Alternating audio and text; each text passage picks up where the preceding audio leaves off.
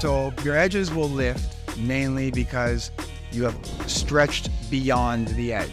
This means if we're wrapping the hood, for example, and I'm stretching the film to the edge of the hood, okay, that's one thing. But if I stretch it beyond the edge of the hood, let's say toward more towards the light, we're stretching now past the edge. The vinyl has a memory in it, so it's going to want to contract. It's going to want to go all the way back to its normal position. The glue is only so strong, so it can only hold the vinyl in place for so long and for so well. You don't want your glue to be too strong because if your glue is too strong, removing the wrap can be a problem.